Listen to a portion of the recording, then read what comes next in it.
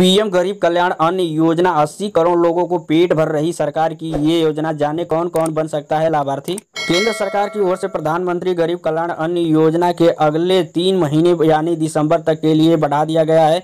सरकार के इस फैसले के बाद देश में 80 करोड़ गरीब लोगों को फ्री राशन योजना का लाभ मिलेगा।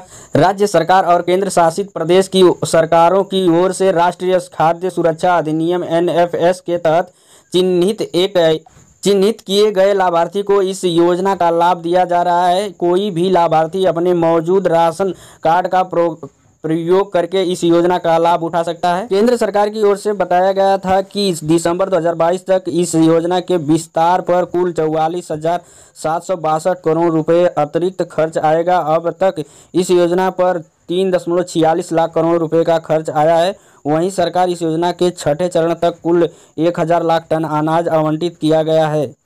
इस योजना को सरकार ने शुरुआत में पहले चरण में केवल अप्रैल, जून 2020 के लिए शुरू किया था। इसके बाद सरकार ने दूसरे चरण चरण में इसकी अवधि को जुलाई, नवंबर 2020 तक के लिए बढ़ा दिया था। कोरोना के प्रकोप के कारण इस योजना को अप्रैल 2021 में दोबारा से शुरू किया गया।